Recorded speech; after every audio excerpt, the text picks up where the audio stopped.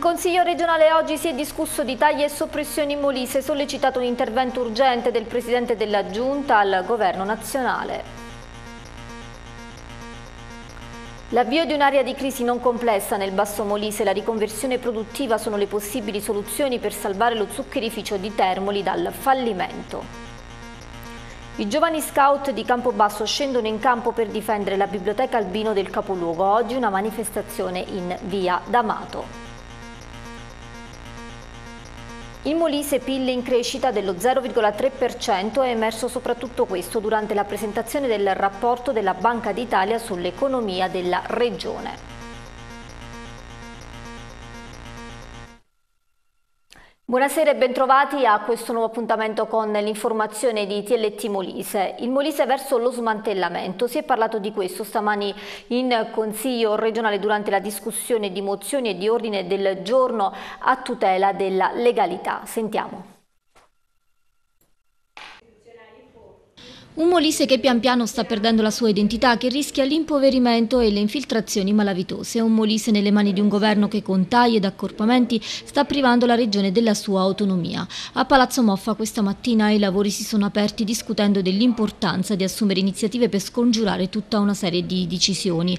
Non da ultima la paventata soppressione del Comando regionale dei Carabinieri, una cancellazione che richiamerebbe a catena quella di altri presidi di forze dell'ordine, mentre nel contempo si chiede il potenziamento potenziamento delle stesse. Un argomento al centro dell'ordine del giorno presentato dai consiglieri di minoranza Iorio, Fusco, Cavaliere e Sabusco ed inserito tra i punti in discussione con la sollecitazione del Presidente della Giunta regionale del Molise ad intervenire presso le autorità governative e ministeriali competenti per scongiurare che il presidio dell'arma venga cancellato. Unificati poi la mozione del consigliere Petraroi e l'ordine del giorno a firma del consigliere Di Pietro. La prima concernente la presenza sul territorio regionale dei collaboratori di giustizia o condannati agli arresti domiciliari domiciliari per reati gravi provenienti da altri territori. Il secondo è inteso ad impegnare ancora la Giunta regionale a sensibilizzare il Governo, il Ministero dell'Interno e del Capo della Polizia rispetto alla carenza di personale e risorse proprio della Polizia dello Stato in Molise. E la mozione e l'ordine del giorno a tutela della legalità presentati dai consiglieri Cristiano Di Pietro e Michele Petraroi approvati a maggioranza dall'assise di Palazzo Moffa. Continueremo a difendere il nostro territorio dagli attacchi provenienti dal governo centrale, ha ribadito il capogruppo di Molise di Tutti Di Pietro, pronti a discutere con il Premier Renzi in occasione della firma del patto per il Sud della garanzia di mantenere i presidi di legalità e sicurezza sul territorio molisano. Va posta al governo la questione dei boss, invece il commento del consigliere Petraroia inviati sotto programma di protezione Molise per le implicazioni connesse di ogni ordine, tipologia o causa, il persistere e l'accentuarsi del fenomeno di arresti domiciliari da scontare in regione e in particolare nell'area venafravana di soggetti perseguitati per reati gravi rappresenta una pratica nefasta che va bloccata tempestivamente. E cambiamo argomento, pressing eh, dei sindacati sul governo nazionale per l'avvio di un'area di crisi non complessa sulla riviera adriatica, un'opportunità per salvare dal fallimento lo zuccherificio di Termoli. Individuare percorsi finalizzati a dare continuità alla produzione di zucchero e tutela occupazionale ai circa 200 dipendenti dello zuccherificio di Termoli questo chiedono a gran voce i lavoratori del sito industriale al ministro dello sviluppo economico Carlo Calenda. Al centro la pesante situazione in cui versa lo stabilimento e la crisi nazionale del comparto bieticolo saccarifero. Eppure lo zuccherificio costituisce un patrimonio economico significativo della regione, capace di creare un indotto che si avvicina alle 500 unità e centinaia di piccole aziende agricole nell'intero bacino bieticolo meridionale. Le forze sindacali invitano quindi il governo italiano a trovare le risposte utili al mantenimento della produzione della fabbrica termolese a fronte di una recessione del settore saccarifero che perdura da anni. Tra le varie iniziative individuate nella capitale la settimana scorsa, la costituzione di un'area di crisi non complessa per l'area costiera, che potrebbe rappresentare un presupposto per il rilancio e la riconversione dello zuccherificio. Il personale dipendente chiede di avviare un tavolo di confronto con il Ministero delle Politiche Agricole e le parti sociali, con l'auspicio di riuscire a mantenere una realtà oggi fortemente in bilico. Sul fronte della vendita dello zuccherificio, le numerose quante inutili aste non hanno visto l'interesse di alcun imprenditore. L'idea sarebbe quindi da parte del governo nazionale di mettere in campo una sinergia volta a favorire le condizioni per la riconversione produttiva e garantire dall'altro la tutela del lavoro. Difesa della biblioteca provinciale Pasquale Albino di Campobasso, si muovono anche giovani scout del capoluogo per conservare un patrimonio di storia e cultura. Il gruppo Scout Agesci di Campobasso interviene sulla vicenda della biblioteca provinciale Albino di via D'Amato del capoluogo. Nel sit-in i giovani spiegano l'utilità socioculturale della struttura, ma intanto resta in forza il passaggio a biblioteca nazionale. Il nostro lavoro parte dalla fine del 2015 quando eh, noi attraverso varie riunioni ci siamo posti delle domande riguardanti le problematiche della nostra città. Questo ci ha portato ad analizzare nello specifico la situazione della biblioteca che da due anni a questa parte non sta vivendo un momento diciamo roseo. E mm, che attualmente dovrebbe passare a, a, Biblioteca Nazionale. E quindi appunto perché la situazione di questa biblioteca eh, non è delle migliori, noi appunto ci siamo interessati proprio perché attraverso uno strumento che mm, noi scout chiamiamo capitolo che ha, ha la funzione di eh, svolgersi in tre fasi che sono le fasi del vedere, ehm, giudicare e agire. Nel vedere appunto andiamo ad analizzare le, le problematiche appunto delle, delle, strutture che ci sono nella città. Nel giudicare andiamo appunto a dare un giudizio sulle, sulle situazioni eh, attuali e nel, nell'agire appunto eh, di dare un, un messaggio eh, alla, alla, alla realtà moderna alla realtà attuale mh, attraverso l'agire eh, per far sentire appunto la nostra voce contro questo, questo, questa situazione attuale. E noi vogliamo riavere la biblioteca come era un tempo, ovvero dove non solo si poteva venire a studiare ma anche dove ci sono incontri appunto socioculturali o altre attività che non sono solo inerenti allo studio o alla conservazione dei libri. La proposta è quella di non abbandonare la biblioteca solamente a funzione di biblioteca statale, quindi come eh, la biblioteca con la funzione di conservare i libri, ma la proposta è quella di... Eh, essenzialmente rivolta alle istituzioni che chiediamo eh, di preoccuparsi di questo aspetto socioculturale e quindi di quelle iniziative che ehm, ad esempio come ti racconto un libro eh, che eh, che verrebbe meno nel momento in cui eh, la biblioteca diventa biblioteca nazionale. Quindi è di non abbandonare le attività socioculturali della, eh, della biblioteca che non sono più di competenza di una biblioteca nazionale ma che dovrebbero essere di competenza di, delle istituzioni. Sarebbero do, eh, dovute diventare competenza della regione ma la regione è venuta meno a questo incarico. Il sindacato Will denuncia le condizioni in cui sono costretti a lavorare gli addetti al servizio di pulizie al comune di Termoli. L'azienda La Lucentezza non pagherà al personale le retribuzioni mensili fino a quando l'amministrazione di Palazzo Sant'Antonio non salderà i suoi debiti. Assistere al perseverare di comportamenti come quelli messi in atto dalla società e dal comune è diventato insostenibile per i lavoratori. Tutte le forze sindacali hanno proclamato lo stato di agitazione del personale pronto a manifestare qualora la situazione situazione non eh, venisse subito sanata. Da domani al via al porto di Termoli la raccolta differenziata porta a porta. Tutte le utenze sono già state dotate degli specifici contenitori. Il servizio sarà effettuato tutti i giorni secondo il calendario indicato. Soltanto gli operatori della pesca e del mercato ittico potranno conferire rifiuti nell'isola ecologica situata vicino ai cantieri navali che sarà a loro uso esclusivo. Nel 2015 l'attività economica in Molise è lievemente aumentata, in quasi tutti i settori il PIL in crescita dello 0,3%. Questo è il dato centrale emerso dall'incontro dedicato alla stampa per illustrare il rapporto dei dirigenti della Banca d'Italia sull'economia del Molise.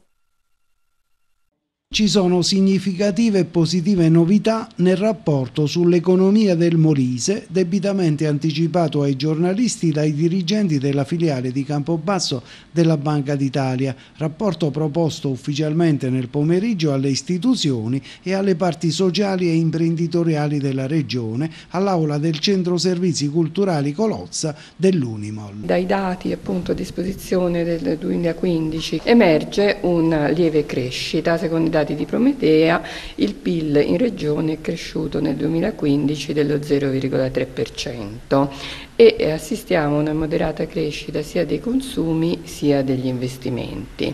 Il fatturato dell'industria è aumentato, in particolar modo per quanto riguarda la chimica, l'automotive e l'alimentare. C'è da dire però che questo miglioramento non si è esteso a tutti i settori. Possiamo parlare di un Molise a due velocità sia per i settori sia per le diverse aree della regione, in quanto a questi risultati positivi fanno da contrappunto delle eh, aree di crisi eh, dove, te- che, eh, diciamo, dove la crisi è presente da lungo tempo nelle aree interne della regione e in particolare nei comparti avicolo a Campobasso e nell'abbigliamento e eh, metalmeccanico nella provincia di Isernia. In relazione al protrarsi della crisi e alle pesanti ricadute occupazionali è stata chiesta dalle regioni il riconoscimento di area di crisi complessa il Ministero dello Sviluppo Economico nell'agosto 2015 ha riconosciuto tale area e pertanto saranno possibili dei programmi che condurranno a una riqualificazione industriale in questa zona. È una zona molto estesa che riguarda oltre il 50% della popolazione e eh, del, delle industrie. Diciamo. Passando agli altri settori, nelle costruzioni permane la situazione di crisi, mentre abbiamo dei segnali positivi nei servizi, grazie all'aumento dei consumi delle famiglie, e nel turismo. Anche qui, dopo anni di calo, si è assistito a un aumento delle presenze, in particolare di turisti italiani. Con l'abolizione delle tasse sulla prima casa i molisani hanno risparmiato circa 200 euro, ma l'intero sistema di tassazione degli immobili deve essere rivisto. Ridurre le tasse e sostenere politiche di crescita e sviluppo possono rimettere in moto i consumi molise come nel resto della penisola. Per questo abbiamo trovato condivisibile l'intervento che ha abolito la Tasi per la prima casa, sostengono i sindacati. Intanto fra 48 ore oltre 25 milioni di proprietari di immobili diversi dall'abitazione principale dovranno pagare l'acconto dell'IMU Tasi.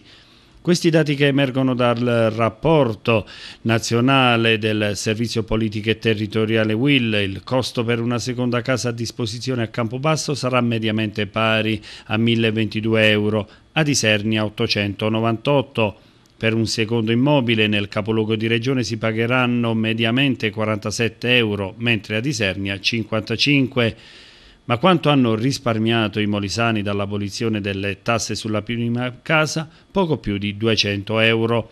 La contraddizione è che per la prima casa si è risparmiato poco, mentre per la seconda gli italiani saranno costretti a pagare una cifra molto alta e a farlo sono spesso pensionati e famiglie con redditi limitati. I contribuenti però vivono in condizioni sociali molto differenziate. Le condizioni economiche dei proprietari di immobili adibiti a prima abitazione non sono uguali per tutti, così come non lo sono per coloro che hanno una seconda casa. Per queste condizioni particolari lo Stato dovrebbe tener maggior conto, alleviare il peso della fiscalità per le persone meno abbienti e chiedere un contributo maggiore a chi ha più disponibilità a partire da una revisione dei criteri che regolano i valori catastali, improntata a criteri di equità, la richiesta delle organizzazioni sindacali molisane. Gli agenti del Corpo Forestale di Isernia hanno accertato in tutta la provincia nelle ultime settimane 36 violazioni amministrative che hanno riguardato il mancato rispetto delle norme sui tagli dei boschi. Le attività di controllo degli agenti sono state mirate anche al contrasto dei furti di legna, fenomeno questo che degrada l'ambiente e impoverisce le foreste. A Boiano la minoranza consiliare apre alla giunta del sindaco Marco Di Biase unire gli intenti e non dividere per risolvere i problemi della comunità matesina. Il gruppo politico di minoranza Boiano Domani apre alla nuova amministrazione comunale matesina, uscita fuori dal voto popolare di domenica scorsa, Un'apertura alla neogiunta guidata dal primo cittadino Marco Di Biase sui temi caldi che assillano la comunità bifernina, a partire dal rilancio della filiera avicola che gravita attorno alla GAM di Monteverde e l'assorbimento di tutta la forza lavoro. Ma di interesse generale per la cittadina di Boiano ci sono anche le questioni che riguardano le altre attività industriali in loco, la questione della tutela ambientale e paesaggistica, il polo scolastico e la creazione del Parco Nazionale del Matese, un'idea quest'ultima accarezzata da tempo per valorizzare a fini turistici l'intero comprensorio, che parte da Sepino fino a Castelpetroso, ma sulla quale le istituzioni preposte ancora nicchiano.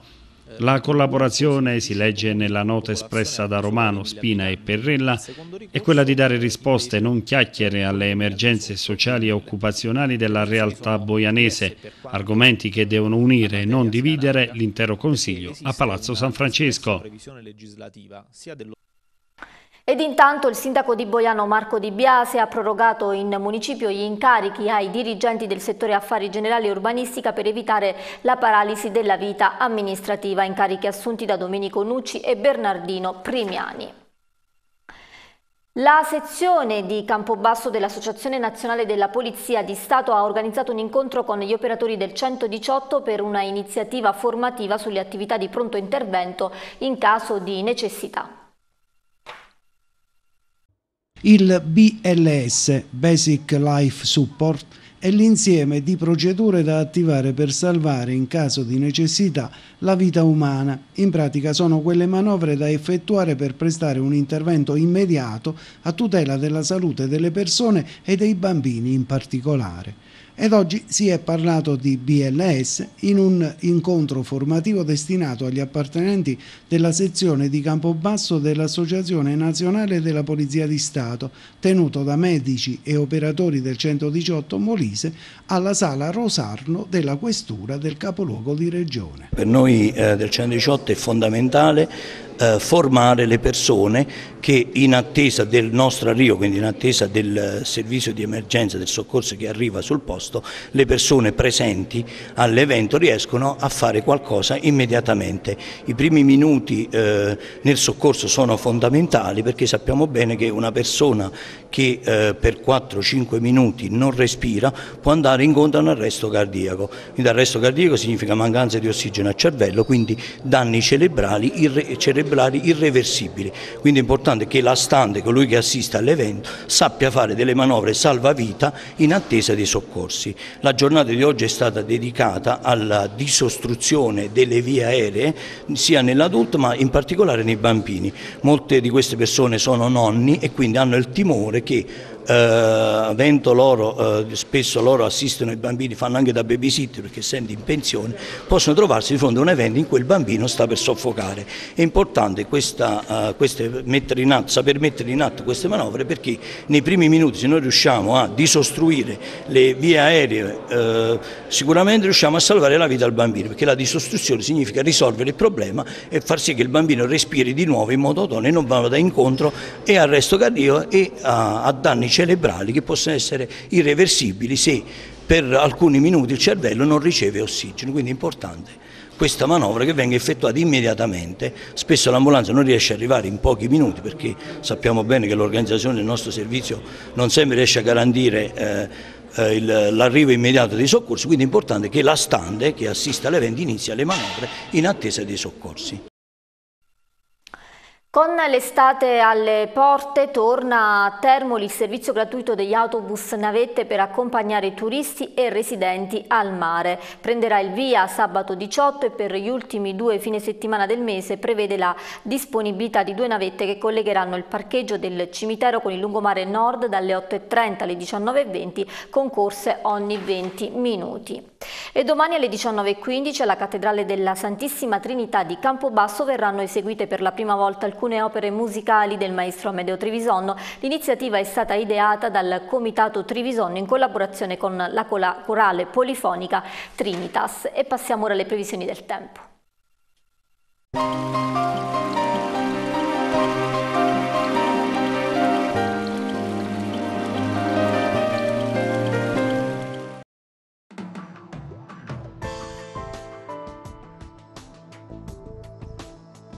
Parzialmente nuvoloso il cielo nella prima parte di oggi sul Molise, stellato dalla sera. Le temperature sono compresse tra i 15 gradi di Campobasso e la massima di 27 a Termoli.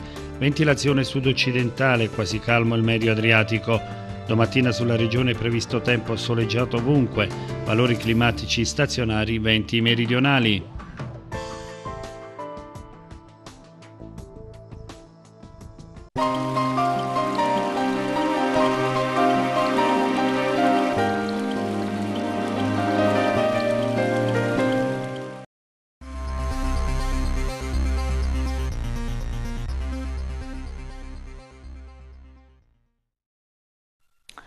Dopo Favo, Provenza e Novelli si allunga la lista degli allenatori papabili alla panchina del Campobasso per la prossima stagione calcistica. In caso di partenza di nuovo dalla Serie D, l'imprenditore salernitano Agnello Aliberti sarebbe pronto a scommettere su Salvatore Fresi, ex calciatore di Inter, Napoli e Juventus. Ad Agnone intanto la società Granata sta valutando le richieste economiche di Pino Di Meo e Antonio Dell'Oio, la coppia di tecnici capace di salvare l'Olimpia dalla retrocessione nell'ultima stagione. Nelle Marche a Corridonia la ciclista di Santa Croce di Maiano Noemi Eremita ha primeggiato tra le donne nel percorso lungo 29 km. La giovane ciclista molisana è cresciuta nel vivaio della Garofalo Mobili. E con questa notizia si chiude il nostro telegiornale, vi ringrazio per l'ascolto, vi do appuntamento alle prossime edizioni, arrivederci.